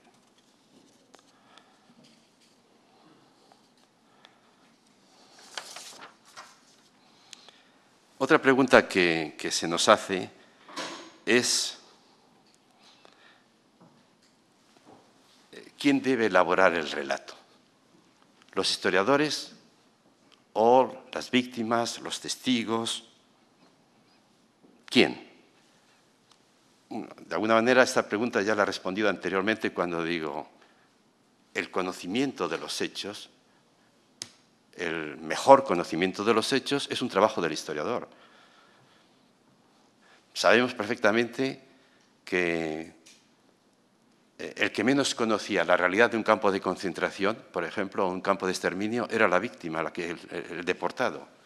El deportado tenía una visión muy reducida, de muy pocos metros. Su mundo se desenvolvía en un recinto. Hoy el historiador conoce mucho mejor el campo que la propia víctima. El conocimiento de los hechos es un trabajo de los historiadores. Pero si nos preguntamos por la significación moral del pasado, ahí el relato de las víctimas es fundamental. El testimonio es fundamental.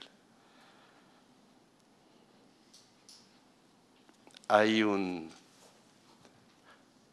eh, un testimonio que hemos eh, conocido hace muy poco tiempo de uno de los llamados Sonderkommandos. Los comandos especiales eran los más desgraciados del campo, de un campo de exterminio. Eran judíos que eran seleccionados para tener el secreto de la barbarie.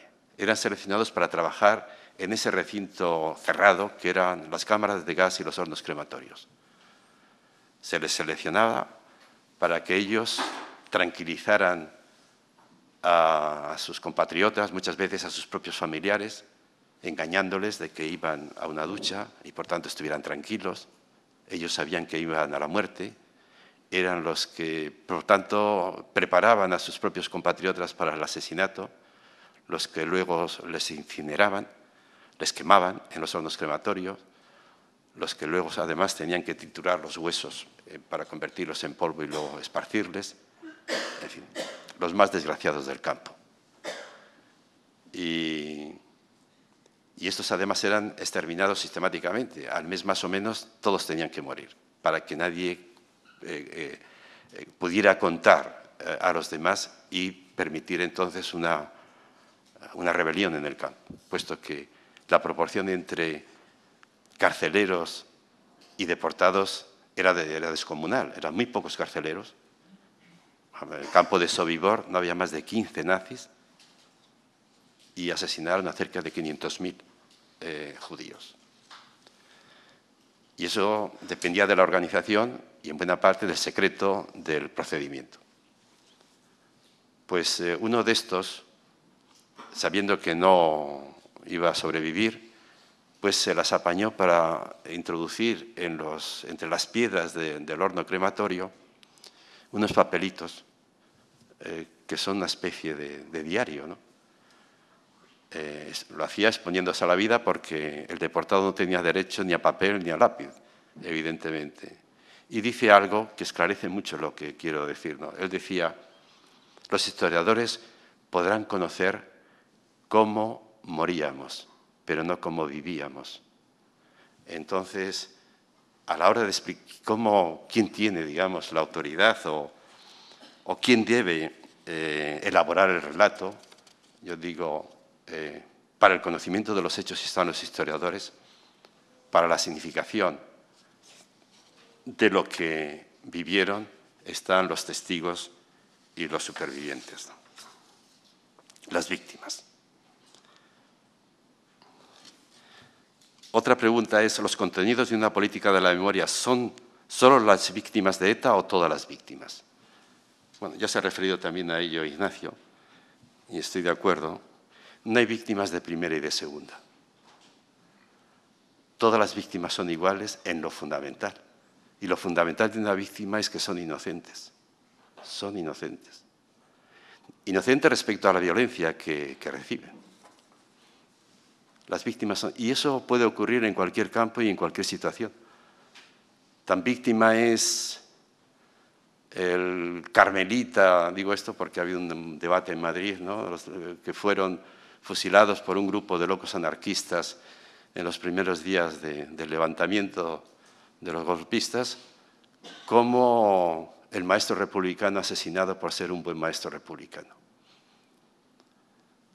Tan víctima es el judío que muere en un campo de concentración como el alemán que por ser alemán es asesinado por el ejército rojo cuando avanza hacia Berlín, o por las bombas inglesas eh, en los bombardeos de Dresden innecesarios para el final de la guerra.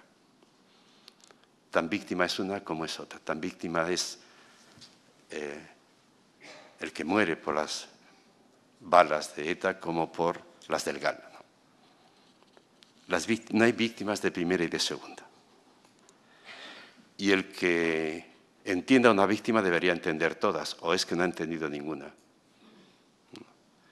Y eso nos cuesta entenderlo en España, porque aquí cada cual tiene sus víctimas. Y unos son muy sensibles a una y muy poco sensibles a, y muy poco sensibles a otra. ¿no? Yo estuve en la comisión, en una comisión que eh, creó este gobierno para ver qué se hacía con el Centro Memorial de las Víctimas del Terrorismo de, Vitoria. Ah, era un grupo muy plural y me llamaba la atención la atención con la que el ministro del Interior nos dejaba trabajar. No había ningún límite.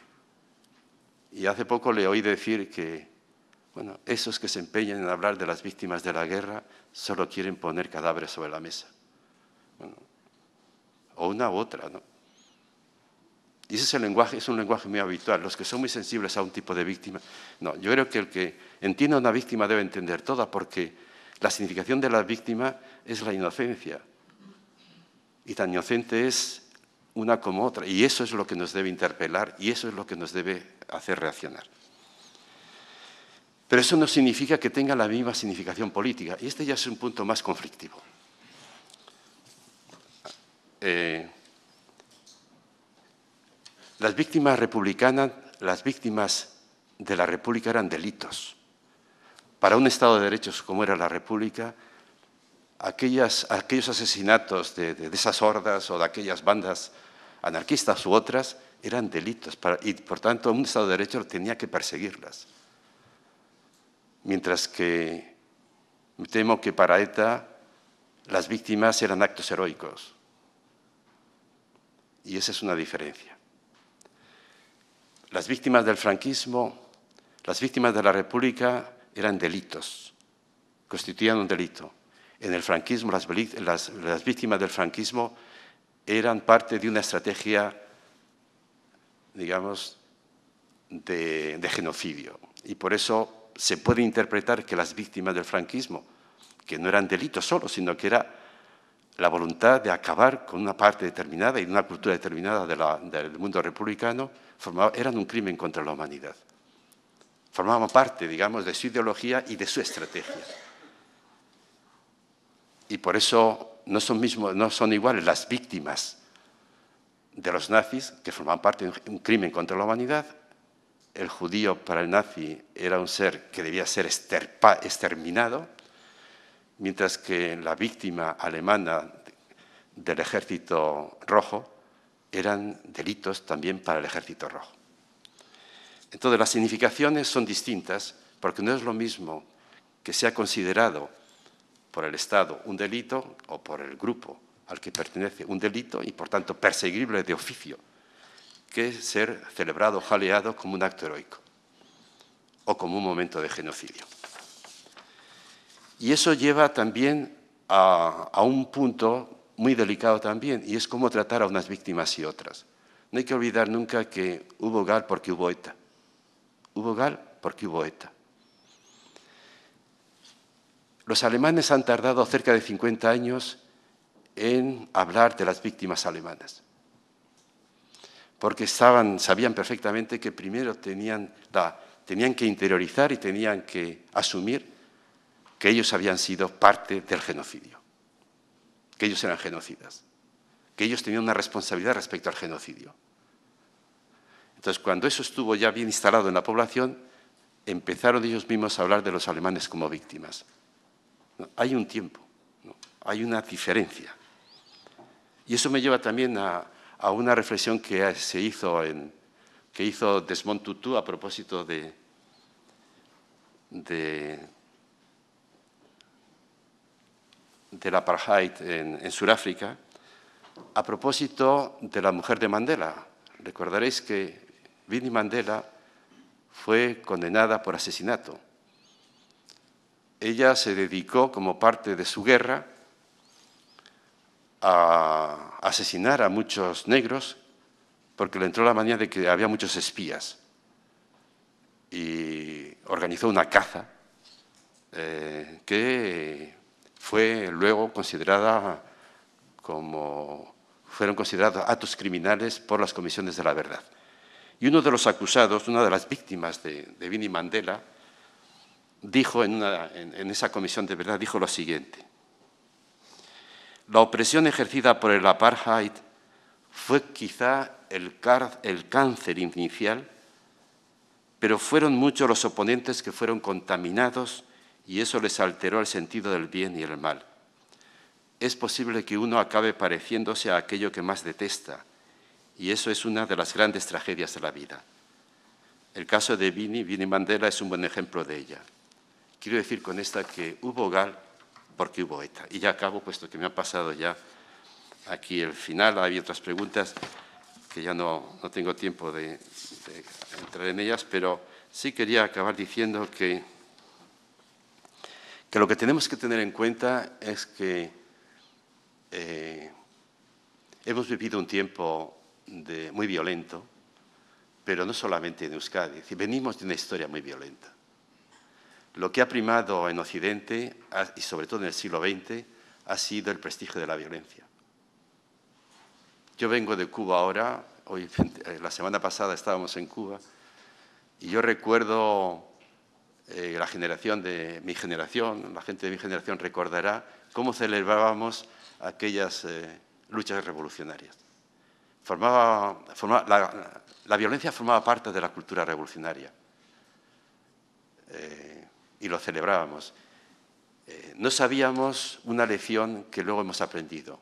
Y es que cuando se aplica la violencia a la política, por una buena causa, la violencia al final se hace autónoma y tiene su propia lógica.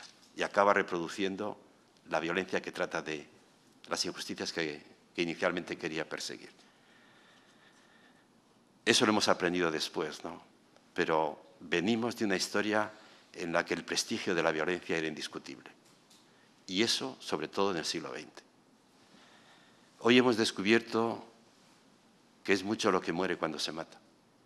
Es mucho lo que muere cuando se mata. No solamente muere la víctima, muere la sociedad que calla o que mira hacia otro lado. La violencia deshumaniza a la víctima. Decía decía Primo Levi, salimos peores que entramos. Hubo héroes y mártires, pero de los campos de concentración, en los campos de concentración se salvaron los peores, dicen ellos. La violencia deshumaniza a las víctimas y hay que reconocerlo. Y, Primo Levi decía, hay que reconocerlo. Deshumaniza sobre todo a los victimarios. Hay un relato, con hay un relato de Borges que titula Deutsches Requiem, que es muy elocuente. ¿no? Deutsches Requiem es un breve relato de Jorge Luis Borges, donde cuenta la historia de un oficial nazi que es condenado a muerte eh, por su historial. Y esa noche va a ser, eh, antes de ser ejecutado en la mañana siguiente, él repasa su vida y entiende que su vida ha estado a la altura de las circunstancias. Él optó desde joven por ser, formar, parte de esa nueva ideología que buscaba crear un hombre nuevo y fue consecuente. Aunque entiende que hubo un momento débil en su vida, hay como un borrón en su historial extraordinario. Y ese se refiere a que una noche, una noche en la que estaba juzgando y condenando a Mansalva, pues apareció delante de él un, anciano, poeta, se llamaba Jerusalén y respiraba bondad por todos los lados. Era inocente. Y estuvo a punto de perdonarle la vida, y ese fue su momento de debilidad, su borrón en su historial. Pero se sobrepuso y le mandó matar. Y ahora que él va a morir, dice, seguro que el bueno de Jerusalén no entendió por qué yo le mandé matar, pero se le va a decir ahora, yo le mandé a matar porque yo tenía que matar la compasión que empezaba a renacer en mí. Y por eso le mandé a matar. Y es que la muerte de otro asesina muchas cosas. La humanidad de la víctima muchas veces, pero sobre todo la del victimario. Y también la de la sociedad que mira hacia otro lado.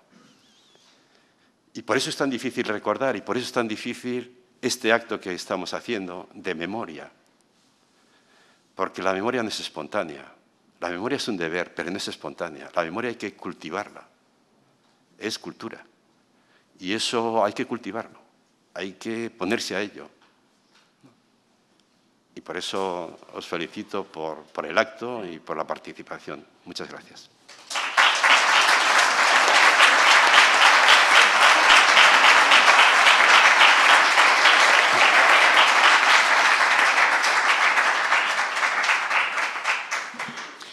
Es que recasco, muchísimas gracias a los dos, a Reyes eh, Mates, al señor Reyes Mates en este, en este caso, por su última intervención. Eh, jarraian, iruditzen bazaizue galderak, zuen galderak, eta, bueno, gureak ere guk ere badauzkago hementxe maiganean eh, zenbait Mm, galdera eta zenbait kontu beraiekin konpartitzeko. Norbaitek zerbait galdetu nahiko balu, si hubiera alguna pregunta, eh, levanten la mano y les acercaríamos el micrófono.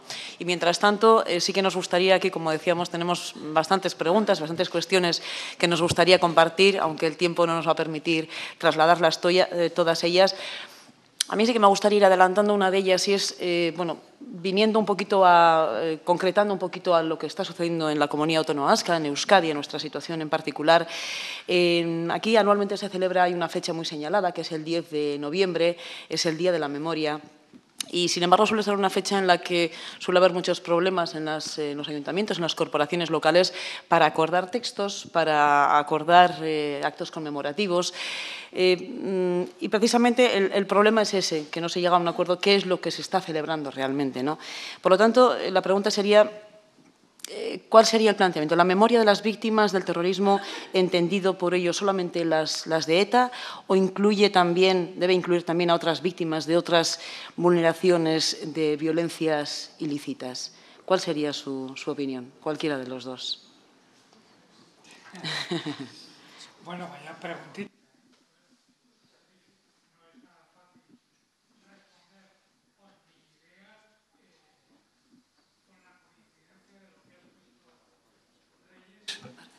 Perdón, mi idea en coincidencia con lo que ha puesto, expuesto Reyes es la idea de todas las víctimas.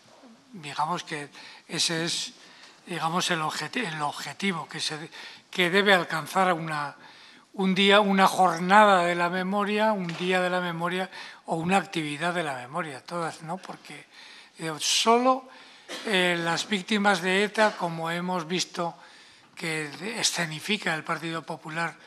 Bueno, y luego pasa lo que pasa, que ya lo he repetido, pasa lo que pasa con, con el asunto de, el, no diálogo de Pili Lassa y, y, Alonso, que queda ahí un, que se corta con un cuchillo. ¿no? Es, no es mucho más fácil decir, bueno, víctimas todas. Eh, pues tu hermano, si se dirigía a Pili Lassa, los, las víctimas del GAL, las víctimas de ETA, las víctimas del franquismo, lo que pasa es que al PP, por ejemplo, hablar de las víctimas del franquismo, pues le resulta durísimo.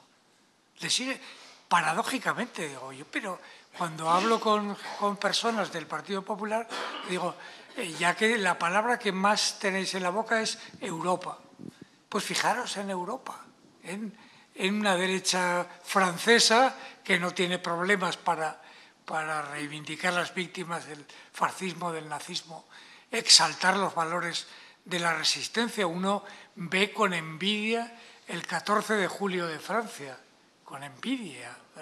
Se exaltan los valores de la resistencia a los que se enfrentaron a los nazis y demás. Bueno, entonces yo creo que tendría que ser universal, eh, y, pero previamente habría que llegar a acuerdos.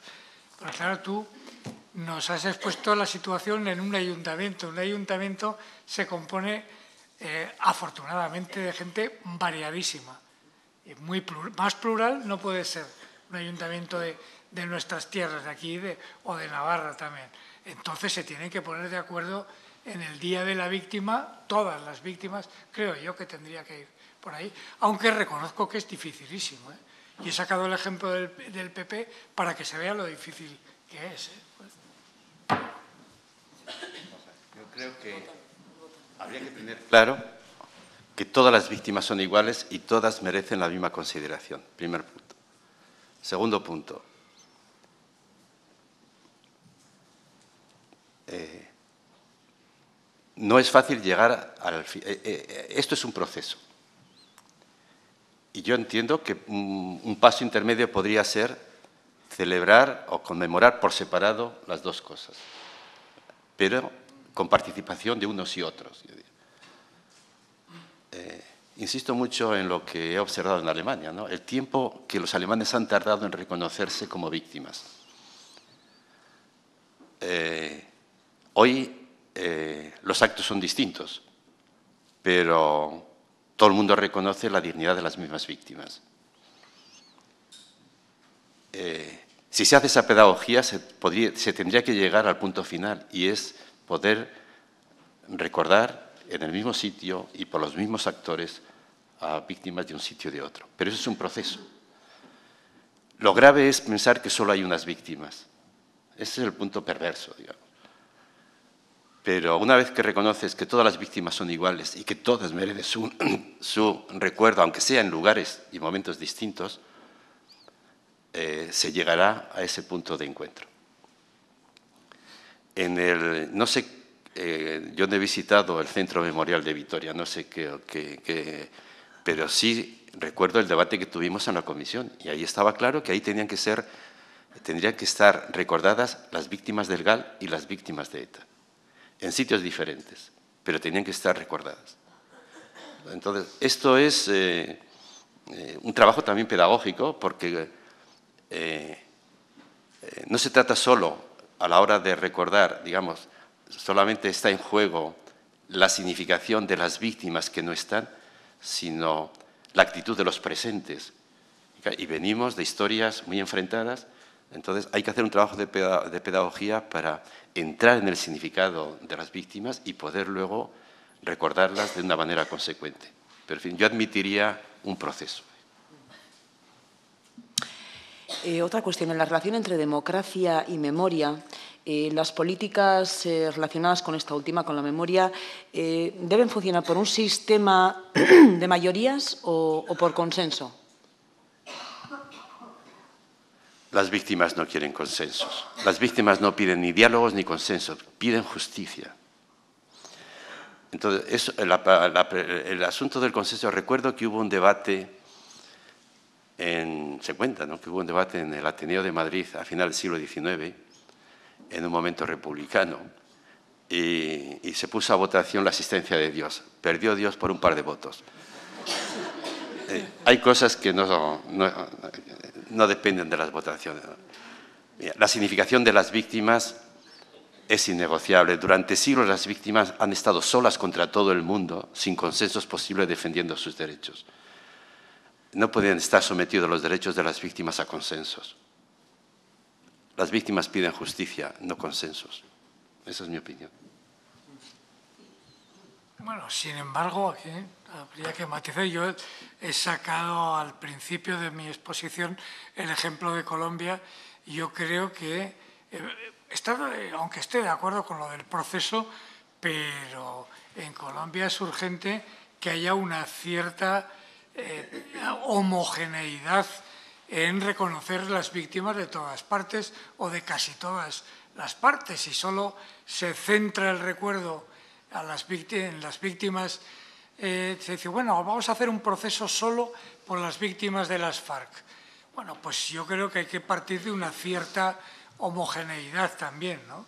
Es decir, las víctimas del paramilitarismo y de, de las fuerzas militares las que no sean en combate, sino el asunto de los falsos positivos, si decimos que eso se aplaza, pues es, yo lo veo difícil. Pero claro, me refiero a una experiencia muy concreta. Aunque el objetivo, el objetivo es el mismo, eh, no olvidar a las víctimas, a nadie de las, de las víctimas, y los procesos pueden ser diferentes, pero a veces hay que exigir que también un mínimo de, de homogeneidad. No, por supuesto que hay que el trabajo de elaboración de la justicia a las víctimas tiene que hacerse desde ya, cualquiera que ellas sean. Pero si uno visita Berlín verá que en un sitio se celebran las víctimas judías, en otro las víctimas gitanas, en otro las víctimas eh, de los homosexuales, ¿no? Eh, eh, y no pasa nada, es decir, que son momentos que tienen mucho más que ver con la mentalidad nuestra que con la significación de las víctimas. A todas se las celebra, se las, perdón, se las conmemora, se las honra. pero por procedimientos distintos que son convergentes eh, y que acabarán convergiendo, pero que en este momento son diferentes. ¿no? En el caso de Colombia, yo me temo que las víctimas del Estado sean anteriores a las de las FARC, ¿no? O sea, que no tiene nada que ver con, con ETA. ¿no? ¿Hay alguna pregunta? en bat. Continuamos con, más cuestiones por aquí. Eh, ¿Cuál debe ser el rol de la Administración eh, pública? ¿Buscar información, dar medios eh, para ello, promover de alguna forma la participación, la vinculación, pero sin definir la memoria? ¿O debe definir un contenido básico? Pues todo no es igual en la memoria y ciertos principios éticos deben ser, como ya comentábamos, subrayados y promovidos. Bueno, se, intenta, se ha intentado lo que se llama la ley de memoria histórica, pero que tiene un título muy largo, muy largo de reparación de las. Se ha intentado buscar un cierto, un cierto consenso ahí pero yo creo que no se ha logrado, porque la ley se queda muy corta. Eh, bueno, ya, he hablado en la exposición de las, de las personas que en el Estado español están buscando todavía a, sus familiares y donde no mueve un dedo la administración pública. Yo creo que habría que exigir a jueces, poderes públicos, por la ley, pues por la ley eh, ese es un camino, pero también por la vía de la práctica el que pusieran, para empezar, todos los medios posibles para encontrar a los, a los deudos familiares que no se, no se han encontrado. ¿no?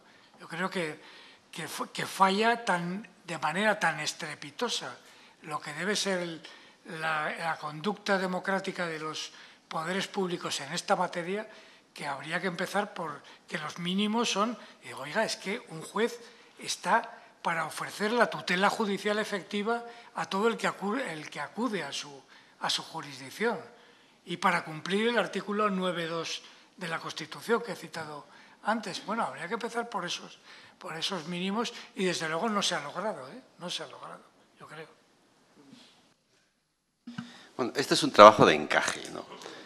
porque todo el mundo tiene su protagonismo aquí y, y, y es necesario el concurso de todos. Empezando por el Estado. El Estado tiene la competencia de las leyes. Y en España falta una ley de memoria histórica, para empezar, ¿no? porque esa llamada, eh, esa mal llamada ley de la memoria histórica se llama, eh, el nombre real que tiene es algo así como ley para la eh, reparación de colectivos no afectados hasta ahora por ayudas de la guerra civil. Es decir, la, intención de esa ley era, inicialmente, era eh, eh, tomar en consideración ayudas a colectivos que habían quedado excluidos de, de leyes anteriores. Eh, eh sabían, eh, la legislación es muy abundante sobre ese particular y, progresivamente pues, iba atendiendo a unos colectivos u otros y faltaba muchos damnificados republicanos de la guerra civil. Ese fue el inicio. Lo que pasa es que la opinión pública empezó a llamarla de la ley de la memoria histórica, porque, que era lo que no era, que era lo que no era. Y de esa manera obligó al Parlamento a, a estirarse, es decir, a, a, pero lo hacía de mala manera. ¿no? Yo tuve una pequeña experiencia ahí porque me llamaron en un momento determinado, lo puedo contar porque ya es público, y eh, para que eh, revisara lo que sea la declaración de motivos, la, introducción de la ley. Y la ley más o menos empezaba así como fieles al espíritu de la transición política.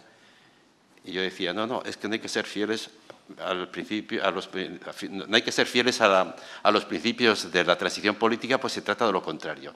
La transición política se hizo desde el olvido.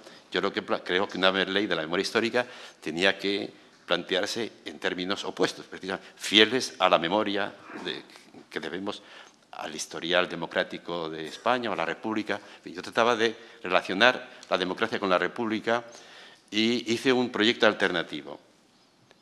Eh, el, responsable de ese grupo parlamentario que me había pedido eh, esta ayuda eh, hizo esa exposición ante su grupo y me enteré a los dos días que le habían dimitido. Y entonces llamaron a consulta a Álvarez Junco que volvió al espíritu. Entonces, el, inspirador de, esa introducción es efectivamente Álvarez Junco, que él se precia mucho cuando va por ahí diciendo, no, yo soy el inspirador, efectivamente, pero el inspirador de, esa, de, una ley de, la, de esa ley de la memoria histórica construida sobre el olvido. Entonces, esa ley de la memoria histórica está pendiente y es muy importante, entre otras razones, para aclarar este, este, este equívoco al que se refería hace un momento mi colega aquí cuando hablaba de, de, esa amnistía discutible del 77, que, eh, eh, que no es válida, yo creo, porque eh, pertenece a ese tipo de leyes de punto final que en Argentina y en Chile fueron derogadas, a pesar de que eran leyes, porque amnistían lo amnistiable, es decir, hay, hay, hay crímenes que no prescriben y un Parlamento no se puede permitir el lujo de declararlos. Por ejemplo, los desaparecidos es un crimen vigente mientras no sea eh, resuelto y nadie se puede permitir el lujo de decir, pues prescribimos a los desaparecidos. ¿no? aunque dimitan aunque eh, dimitan o, echen de la carrera judicial a Garzón, esos son crímenes vigentes y llegará un momento en el que los tengamos que reconocer, como los delitos de tortura pendientes. ¿no? Eh, eh, esos no prescriben, esos están ahí y en algún momento habrá que, habrá que tratarles. ¿no? La memoria de las víctimas ha tardado, ha tenido que esperar 25 siglos de historia para que un crimen fuera reconocido imprescriptible. Hasta 1946 resulta que eh, no asumimos que hay crímenes que son imprescriptibles, como por ejemplo los crímenes contra la humanidad. Pero hasta ese momento sí prescribían, los genocidios prescribían. Pero la pregunta es, ¿y por qué han de prescribir, por qué ha de prescribir cualquier crimen que no haya sido reparado? ¿Por qué? De punto de vista moral, no hay ninguna razón. Las leyes son convenciones entre diputados, en el fondo, pero la moral está muy por encima de la conciencia de los diputados. Y para la moral ningún crimen prescribe mientras no sea reparado. Y por eso, en algún momento, la legislación tendrá que hacerse cargo de eso y, por tanto, revisar casos y causas, porque el crimen, moralmente, el crimen que no es reparado, ese sigue vigente. Sí, un, segundito, le acercamos el micrófono para escucharle todos bien. Gracias. A ver, este, yo tengo esta pregunta. Puesto que somos más cultos que hace 100 años y tira para atrás, ¿por qué sigue habiendo guerras? ¿Por qué se hace vigente hoy de que el hombre es un lobo para el hombre? con interrogante, que conteste el que, el que quiera. Muchas gracias.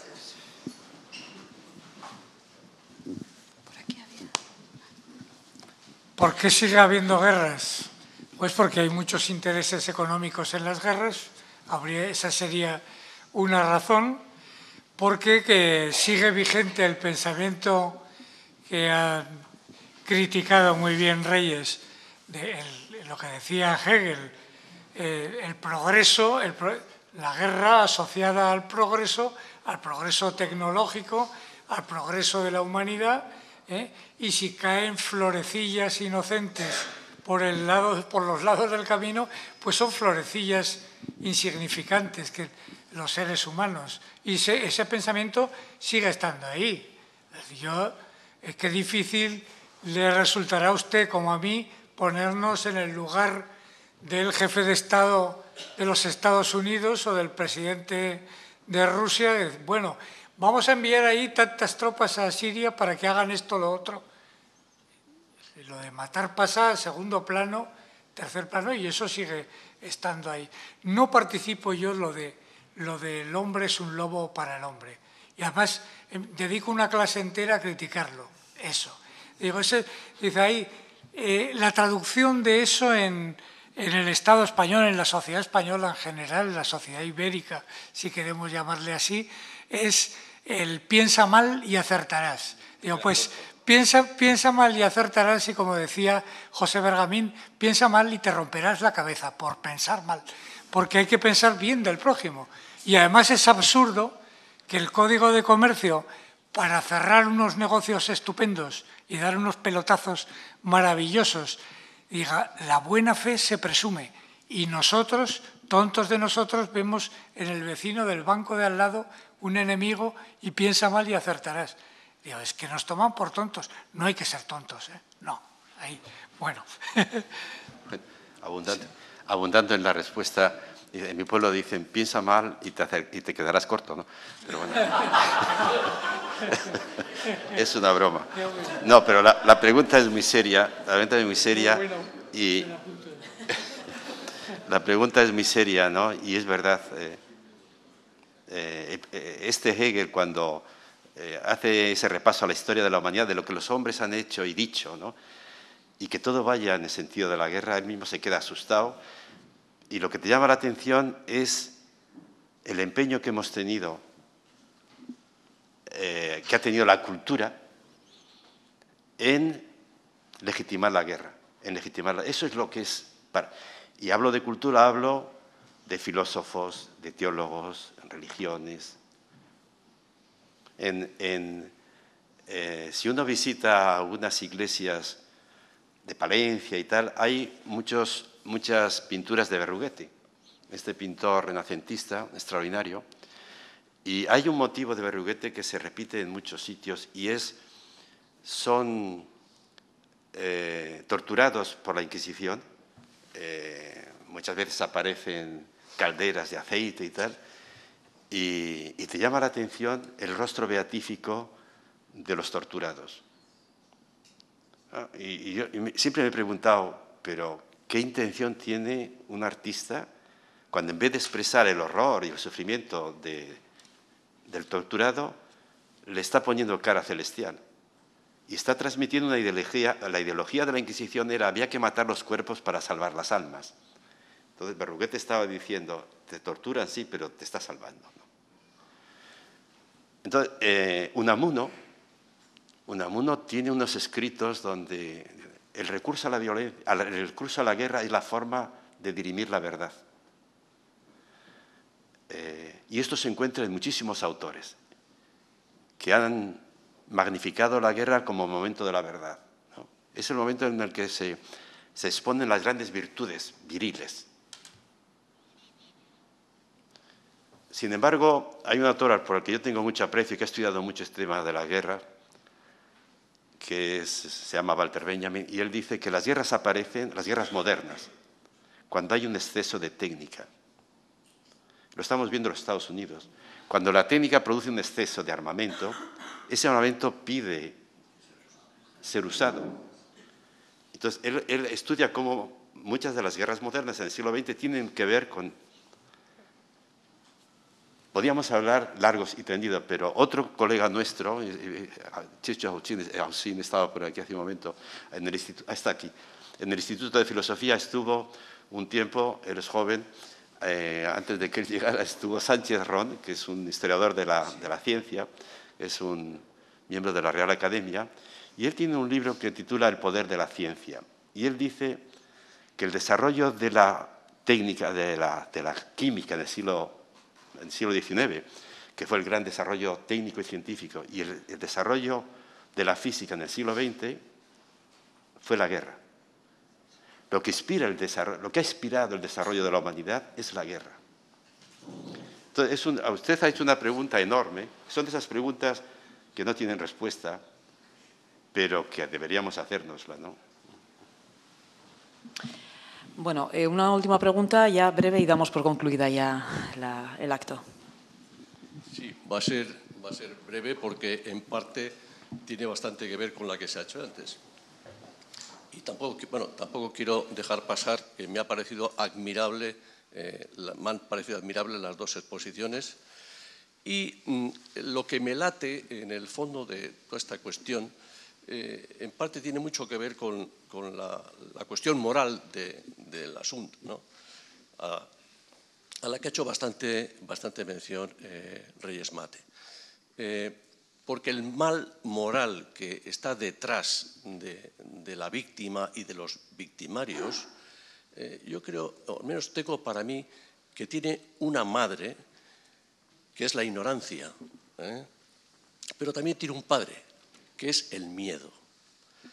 Y eh, el miedo, la cobardía sobre todo, que está detrás del miedo, mm, a diferencia de la ignorancia, la ignorancia se puede combatir, eh, bueno, la cultura eh, tiene, eh, como finalidad precisamente combatir la ignorancia.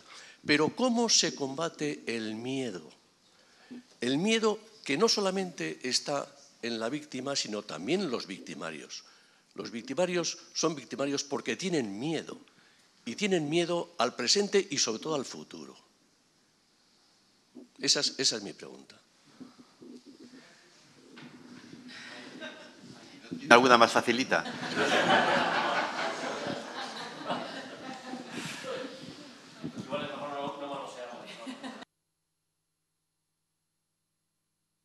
Decía lo de la ignorancia y el miedo. ¿no? En, ese encuentro que, eh, que propiciaron víctimas y victimarios en Anclares de Oca, eh, me llamó la atención una reflexión de Picabea, que, fue para mí un seminario extraordinario. Qué pena que eh, ese tipo de, iniciativas no hayan prosperado porque eh, yo creo que una de esas personas que estaban en el seminario y que hablaran desde aquí podían decir infinitamente más que todo lo que digamos nosotros.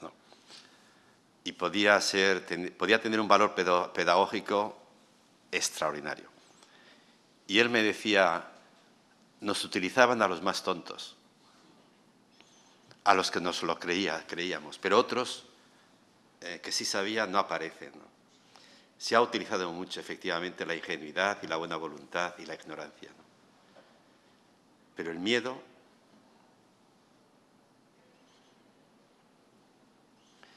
pues eh, yo me lo tengo que pensar, porque eh, sí he pensado el tema de la ignorancia, pero en fin, usted me da una idea y yo me la llevo, así que, y me la pienso. Si en alguna ocasión tenemos ocasión, yo hablaré del miedo y de la violencia. Muchas gracias por la pregunta. Bueno, pues muchas gracias eh, a ustedes sobre todo. muchísimas gracias. Manuel Reyes Mate, eskerrik asko José Ignacio Lacasta, un auténtico placer. Eskerrik asko zuei baita ere tortzeagatik eta laster arte.